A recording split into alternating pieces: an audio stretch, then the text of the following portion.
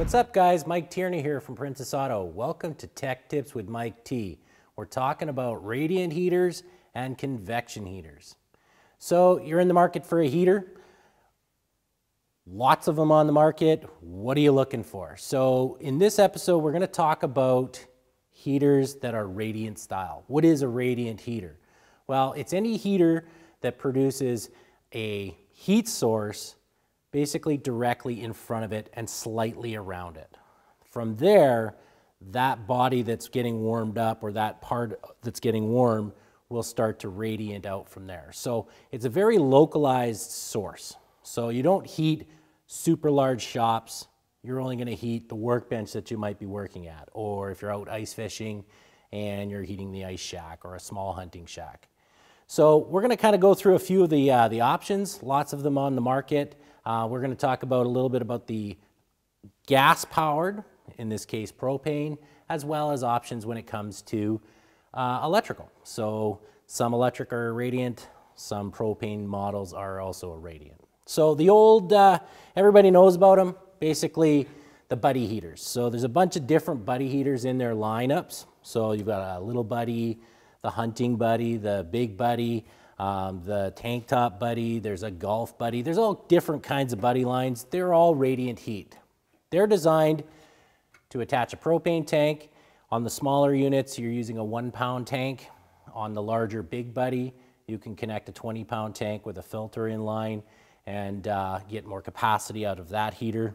The big buddy also has two one, one pound propane tanks that you can attach. But in this case, one small camping propane tank You've got a cone that heats up. You've got a dial that will allow you to have a high or low setting, and it's going to heat what's in front of you. So not much for behind it. So you need to have this facing whatever it is that you want to heat. You will get some heat, obviously, because it rises uh, heat above it, but typically all it's going to do is heat the surrounding area that's out in front of it. There's a new one on the, on the market this year. It's, uh, it's, it's, it's kind of a two-part thing if you want it to be. Uh, for now, they have the actual heater. It's called a flex heater. So what makes this one a bit different is it has a similar cone like the, the big buddy or the little buddy, but except it's now able to heat out to the sides. So whereas the little buddy always out the front, now this can actually have an area that it's going to heat more of a, in a, a cone heating style. But what's really cool about this is if you choose to buy the attachment, we have a stove attachment now that can be added to the heater. So it's basically got its own control. If you want to cook while you're out, uh, you know, say hunting or ice fishing or whatever it is you're doing activities outside, maybe a, uh, you know, an early winter camping trip or whatever that looks like. If you want to cook with all in the same unit without having a whole bunch of different propane attachments and connections and tanks, you can just feed off of your flex heater to your stove attachment. And it's got a really nice little quick coupler attachment that connects into the side of the heater. The only thing with that is you can't use the heater and the flex stove at the same time. You have a control dial here that will have the heat side as well as the stove side. So if you choose to go and cook, you will have to turn the dial to the stove application. So you'll have to cut your heat off just for the time that you're going to be cooking. But you're going to get some heat out of the, uh, the stove as it's uh, cooking anyways. So that should maintain it. They have an electric igniter um, you'll have to install a battery that comes with the, with the grouping of products and uh, basically just hold it down, connect it, it turns on, and you have your heat. What's really neat about these two is, you know, things if you're traveling, you don't want to have a whole handful of a lot of stuff. This actually just connects underneath by a clamp system, and then you can take it all in one piece. There are future expansions for other products that will be coming at some point that connect to the top brackets. So for now, it's just the flex stove and the, uh, the heater itself. So those are kind of those standard radiant heats. Now, if you just want to go really bare bones and just bring a propane tank out. You can also have your on tank direct connect um, heater. So again, it's going to heat, you know, around it and above it. Um, you could probably rig something up and, you know, put a little pot on top, maybe cook something while you're doing it. You just got to be careful that you're not spilling on the, the element.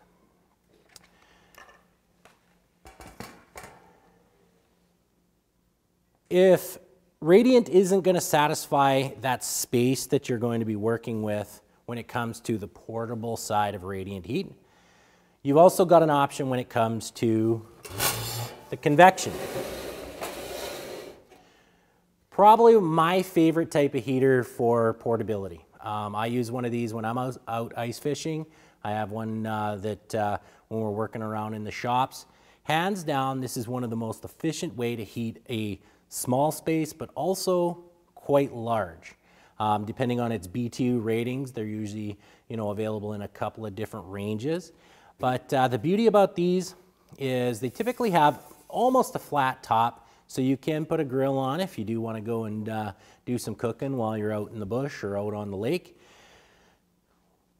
They have like next to no moving parts. There's a dial, a little piezo button. You connect the, uh, the, the propane and you're ready to go. You don't have to worry about a fan running. There's no power required. Um, it's basically made out of, you know, a nice material, all tin. It doesn't take long to cool down. So if you need to be moving, if you're more portable when it comes to ice fishing, you're going here, there, and everywhere. You can uh, just a couple of minutes and this thing's cool again. You can nest it. So when it's in storage, this basically goes down half its distance. When you're going to use it, you must lift this up. Otherwise, the convection is not going to work properly. And basically how it works is simply cool air will come down into the, the venting down in all around it. It's going to superheat that with the element that's inside. And then our warm air comes out the top. So it just starts to come.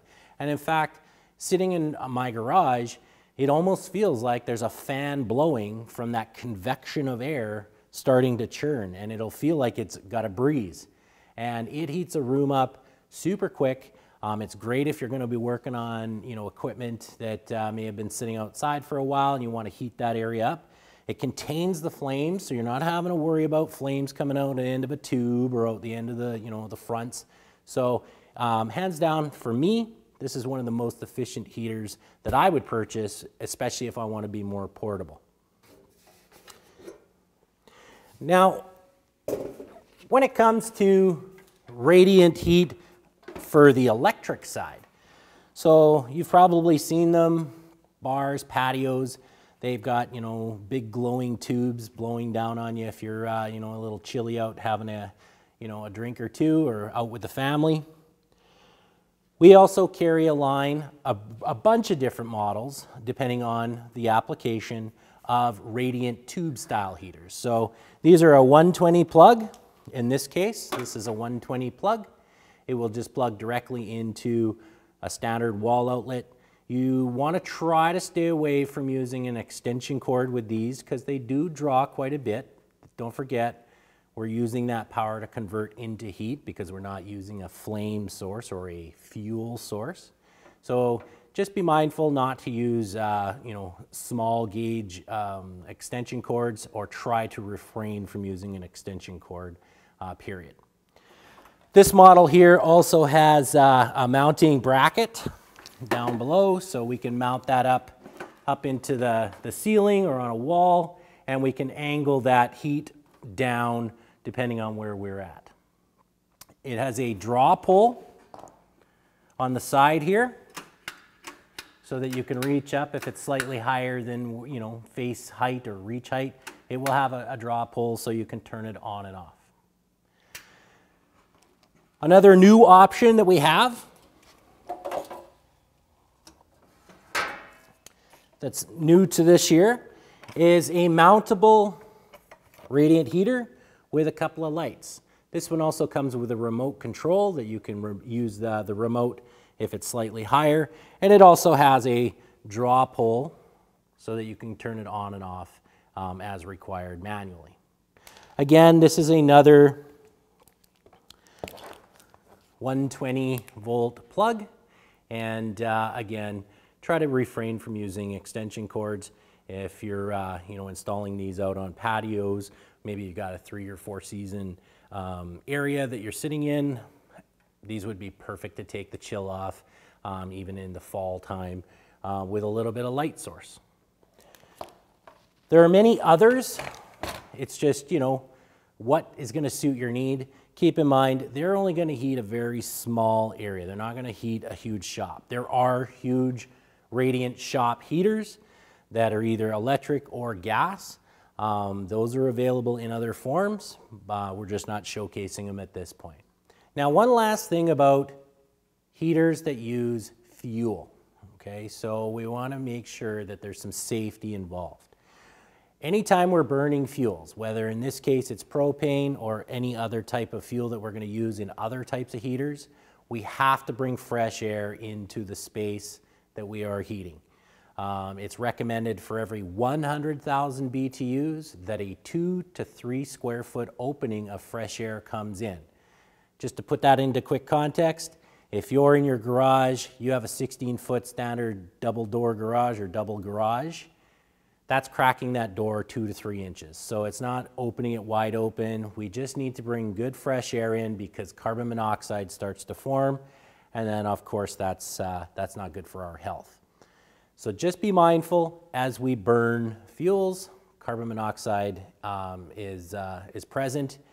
A lot of these models will have a low oxygen sensor shutdown. So if you forget or carbon monoxide starts to build up, just look at the specs while you're looking at the boxes. They will tell you all of that, that safety information or go on the website and look at the manuals. Always be preventative for carbon monoxide. When it comes to the electrical units, they're not producing carbon monoxide, but you do want to be mindful of the potentials of fires, breakers popping, depending on your electrical system. Tipping over, Got to make sure that they don't tip over. A lot of them do have anti-tip over shutoffs, but again, if you're, you know, kicking around, kids are playing, get spilt over, make sure that, um, you know, you've got the right heater for those applications. Well, that's it for Tech Tips with Mike T. We'll see you next time.